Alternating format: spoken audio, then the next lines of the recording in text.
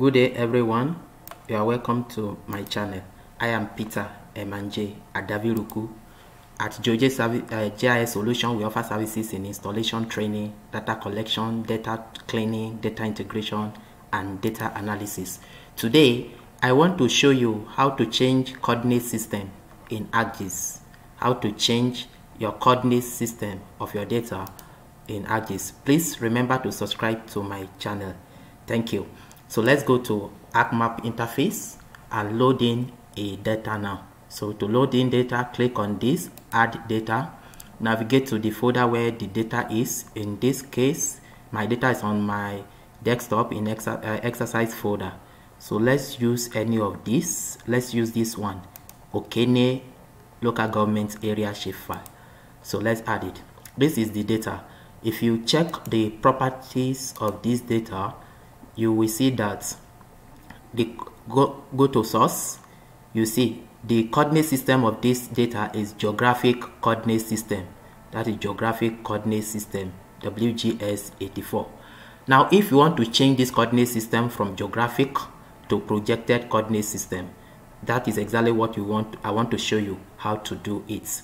So, to do that, you come here, ArcToolbox, click on Data Management tool, then go to Projection and Transformation. Then you see Project. Click on Project. So here, input data sets or feature class. You input our Okene LGA. Now the original coordinate system is geographic coordinate system. So we want to change it. Then here, output data sets can navigate. Let's navigate to our folder okay let's just call it okene local government area underscore p underscore p for projected so that we can differentiate it.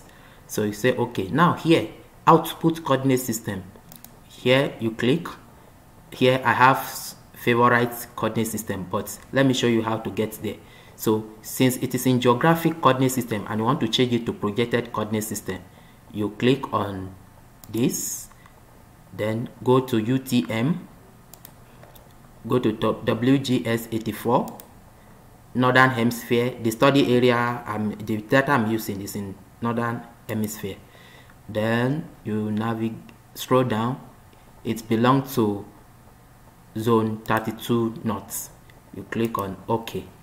So now leave other thing as default and click on OK. So the process is running background so it's successful. It's done. Now what to do now is to load that data the new conversion you have done navigate to your folder and this is it. Okene local government area p underscore p that is for projected. Click on add. So it has been added. So if you come here now right click and go to properties you see it has been changed to projected coordinate system projected coordinate system.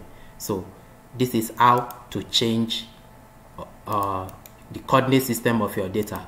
So the original one was in geographic coordinate system but you have successfully changed it to projected coordinate system.